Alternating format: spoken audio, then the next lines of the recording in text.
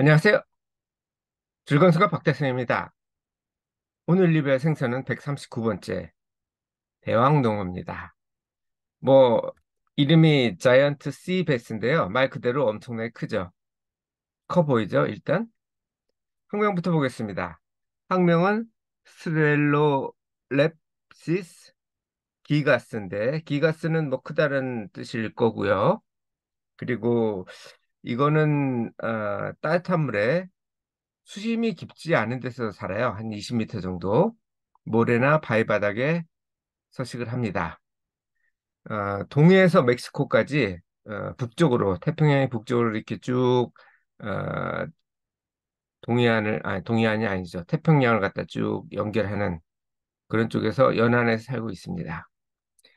통명은 California sea, 아, black sea bass, 아, California jewfish, 어, giant bass, 그냥 black이라고 부르기도 하고요.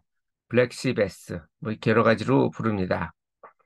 이거는 농어가 보통 바리목이잖아요. 근데 어, 주걱치의 목에 어, 투어바리과입니다. 그러니까 예, 어제 했던 거는 농어목 바리과였는데 이것도 예전엔 바리과로 구분했었어요. 근데 투어 바리과로 구분되고 또 목도 농어목이 아닌 주걱치목으로 이렇게 바뀌었습니다. 이게 크다 보니까 많지가 않죠. 오래 걸리기도 하고 커지는데 그래서 이 잘 몰라요.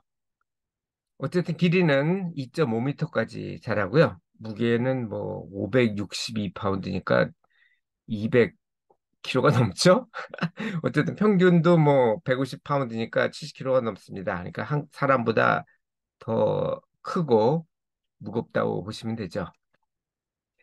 치어는 색깔이 아까 보, 신 것들은 전부 다 좀 회색이나 이렇게 우중충하죠. 근데 치어는 밝은 주황색이나 이런 쪽으로 그 빨간색이나 이렇고요.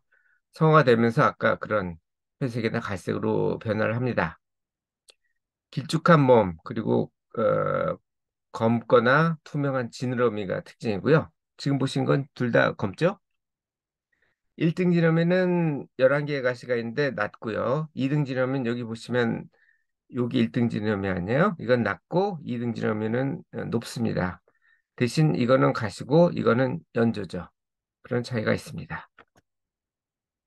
이게 대왕농어하고 지금 나이 사진입니다. 엄청나요. 그죠? 뭐 2.5m니까 이 정도 되겠죠. 갑각류, 게, 멀치, 민어, 고등어, 농어, 뭐 다양한 물고기를 먹습니다. 뭐 몸이 크니까 많이 먹어야 되겠죠. 이것저것 가리지 않고.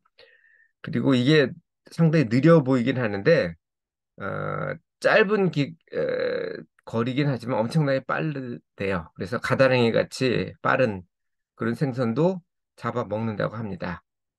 맛은 넙치하고 비슷하다니까 좋겠죠? 그러다 보니까 남획됐겠죠. 그래서 지금은 커트제를 시행하고요. 농어니까 당연히 회로 먹어도 되고 뭐 다른 조립 방법으로 먹어도 됩니다. 한 마리 잡으면 뭐한달 정도 먹겠네요. 자, 이 내용은 제가 다음 카페 681번에 정리됐으니까 조금 더 자세한 내용이 필요하신 분은 그쪽을 참고하시면 되겠습니다.